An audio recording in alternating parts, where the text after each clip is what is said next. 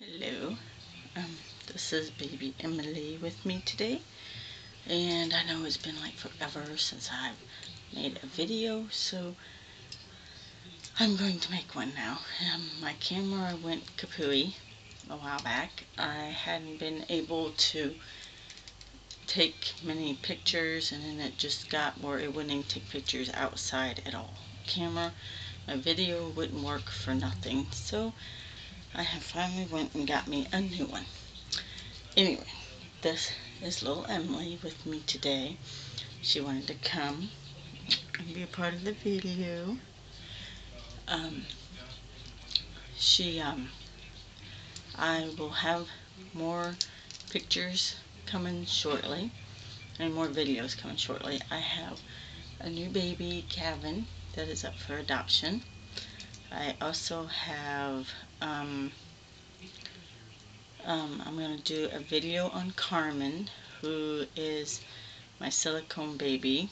On, and um, I have a new baby I'm working on, which is really cute. I can't decide yet whether it's going to be a girl or a boy.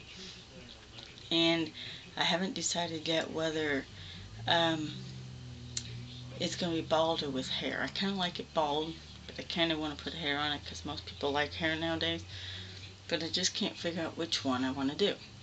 So, um, you could help with that if you would like. Um, bald or hair, what do you prefer? And uh, I have um, a few other videos I'm going to be making soon. Um, we're all kind of sick right now, so as soon as we I get feeling a lot better, I will get around to making um, um, more videos, which will come soon, I hope. Um, yeah, so this is going to be really short, and I know I haven't done one in like a year, and I want to thank everybody for remaining um, subscribed to me, even though I haven't made a video in a long time. And keep watch for new ones to come because now that I got me a camera, actually I borrowed my camera. This camera is not mine yet, but I may buy it. It's actually my sister's, and if I decide I really like it, I might buy it off of her. So that's, we'll see. I kind of like it so far, but it doesn't seem to have a pause button, which is one thing I don't like about it.